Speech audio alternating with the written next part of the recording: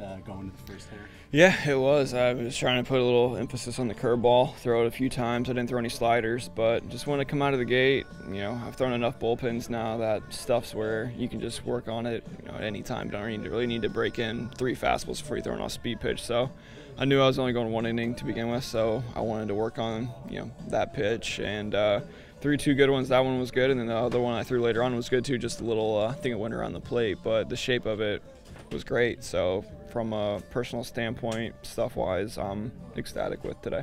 And and also getting a guy like Difo to, to swing on the first pitch. I mean, I'm sure you're going to want to see a lot of that. Definitely. Once the season comes around, I'll take outs as quick as they come, and if I can get a lot of you know one two pitch outs, that'll be allow me to get deeper into games, which is something that we're all striving for as a pitching staff is to go deeper, go longer.